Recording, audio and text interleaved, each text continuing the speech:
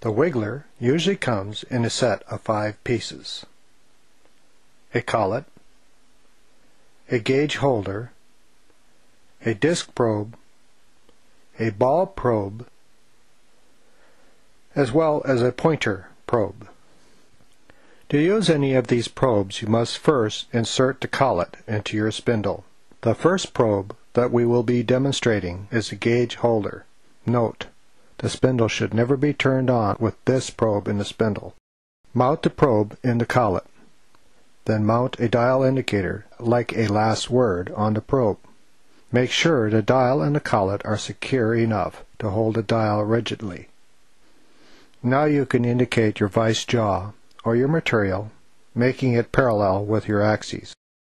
The point probe is mounted in the collet. The collet is tightened. The probe should be centered as well as you can. Turn on the spindle, running it at approximately 1000 RPMs. If the probe spins out of center, like a helicopter, the collet was too loose. Turn off and tighten the collet, and repeat the process. Now that the probe is turning at 1000 RPM, use a soft piece of material like a pencil to make the probe run true to center. If you have the collet too tight, this may be difficult or impossible. If so, stop and loosen the collet and try again. Soon you will get a feel for it. After centering the pointed probe, turn off the spindle. Position it over a scribed line or center punch and adjust your readouts accordingly. The disc probe is used to establish your zero point on your working material. Install the disc probe as you did the pointer probe. Only with the disc probe, you leave the spindle turning at 1000 RPMs. Jog your axes to the edge of the material. Jog in slowly and watch for the interaction of the probe, the wiggler, as it comes in contact with the material.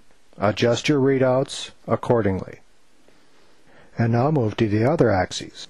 Now do your calculations. You now have your zero point. The ball probe is used to find the center of a hole. Mount and center it like you did the pointer probe. Turn off the spindle after centering it. Now jog the probe over the hole and slowly move it into position. You might use a magnifying glass and a lot of light. Now jog it slowly and be patient. After you are confident that it is centered with the hole, set your X and Y readouts.